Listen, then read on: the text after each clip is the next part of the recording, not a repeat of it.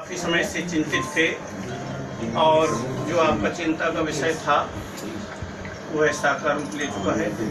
बड़े हर्ष दुखद समाचार हैं और बड़े दुख के साथ भी आपको सूचित किया जा रहा कि मुनि श्री तरुण सागर जी महाराज, रात को 12 एक बजे से थोड़ा सा सीरियस होना प्रारंभ हुआ और लगभग तीन बज के दस और पंद्रह मिनट के बीच में मुनि श्री की समाधि हो चुकी है।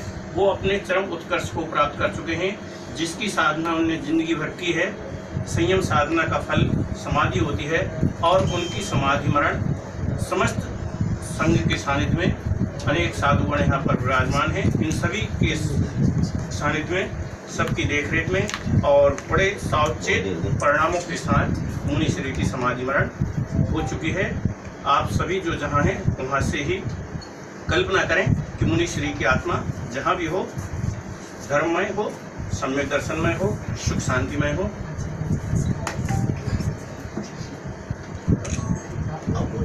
और मुनि श्री की समाधि लगभग तीन सवा सवा तीन तीन दस पर हो चुकी है, और अब यहाँ से समाज अपनी व्यवस्था कर रही है, और यहाँ से तरुण सागरम के लिए यात्रा प्रारंभ हो